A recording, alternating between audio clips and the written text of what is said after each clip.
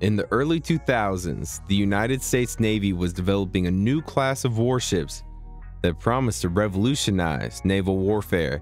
The ship was the USS Zumwalt, a sleek and futuristic looking vessel that incorporated advanced stealth technology, advanced weaponry, and cutting edge propulsion systems. However, despite its impressive capabilities, the Zumwalt program was eventually canceled after just three ships were built due to concerns over cost and technical challenges.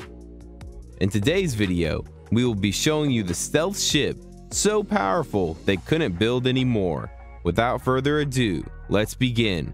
The Zumwalt class destroyer was designed to be the ultimate stealth ship with a radar signature that was significantly smaller than any other ship in the Navy's fleet.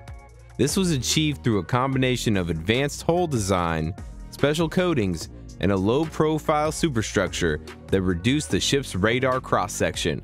Additionally, the ship's engines were designed to produce a minimal acoustic signature, making it extremely difficult to detect by sonar.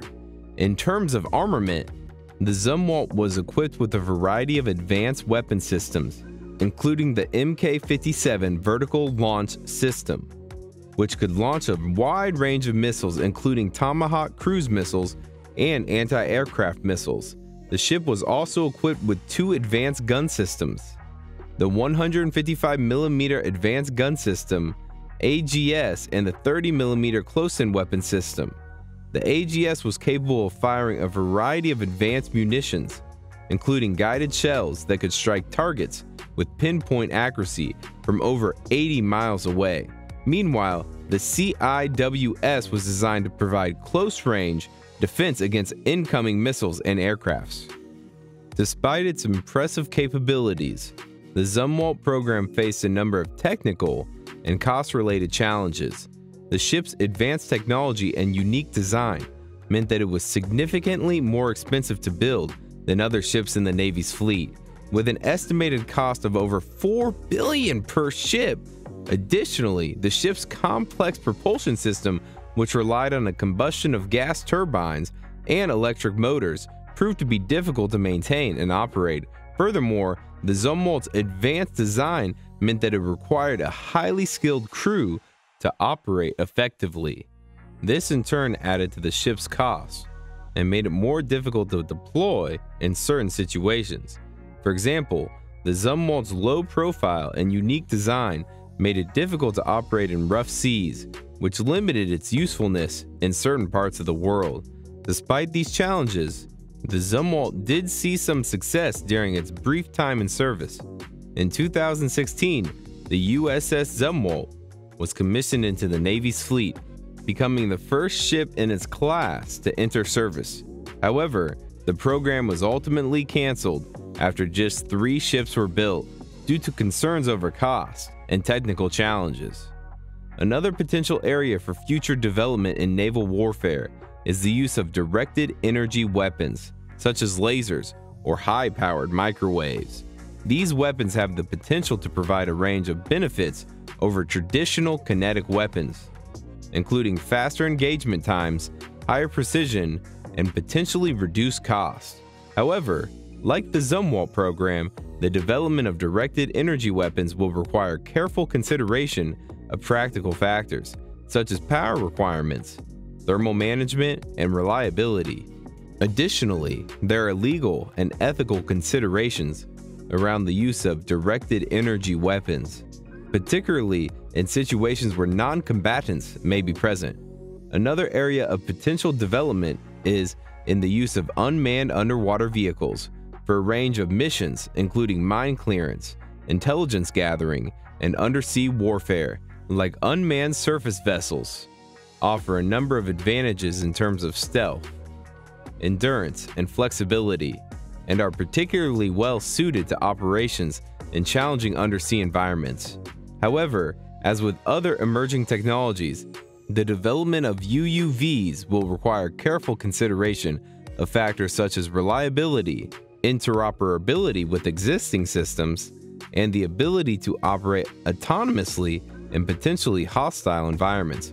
In conclusion, the Zumwalt class destroyer represents a significant milestone in the history of naval warfare and a reminder of the importance of innovation and technological advancement in shaping the future of military strategy.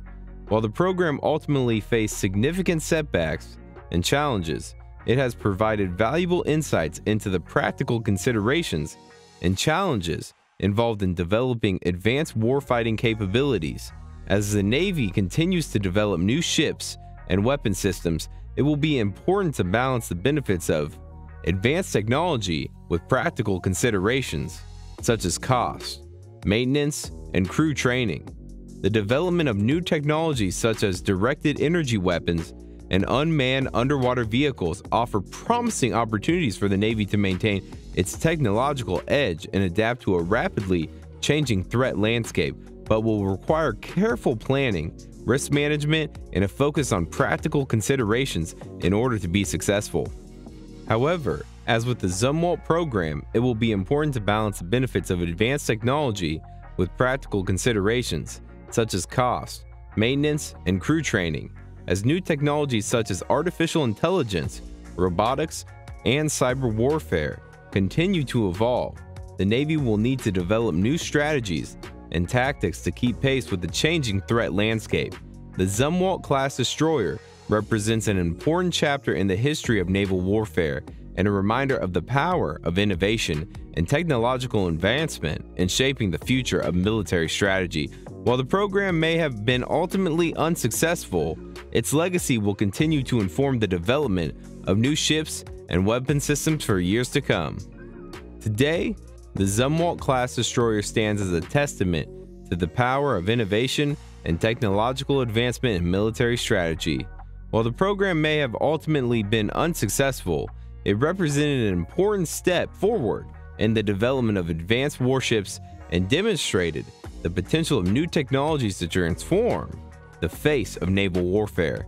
Despite its cancellation, the legacy of the Zumwalt class destroyer lives on, both in the physical remains of the ships themselves and in the lessons learned from the program's successes and failures.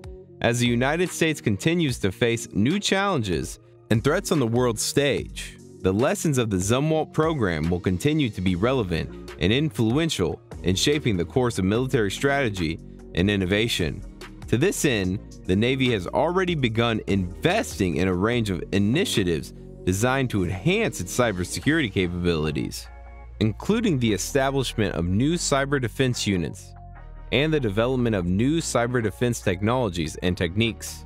As these efforts continue to evolve, it is likely that the Navy will increasingly rely on cyber and information warfare capabilities to gain a strategic advantage in future conflicts. Finally, the Navy is likely to continue investing in its human capital including recruiting and retaining highly skilled personnel with expertise in fields such as engineering, computer science, and cybersecurity.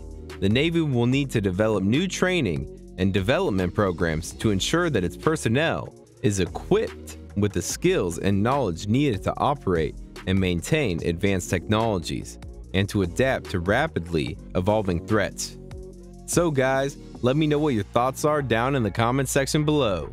For more interesting content, give this video a thumbs up and don't forget to subscribe to the channel for more awesome content. Have a nice day, and I'll see you in the next video.